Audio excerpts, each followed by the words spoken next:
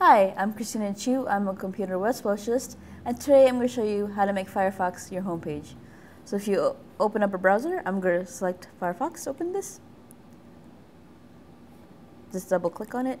And as you can see, my homepage currently now is Google.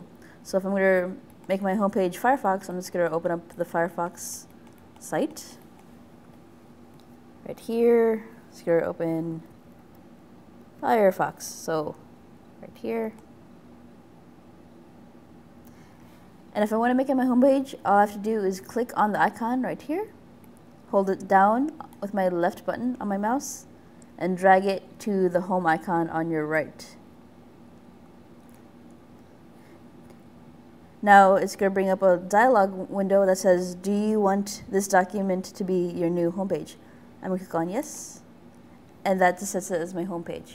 So if I close this window and open it up again, it should have Firefox as my homepage.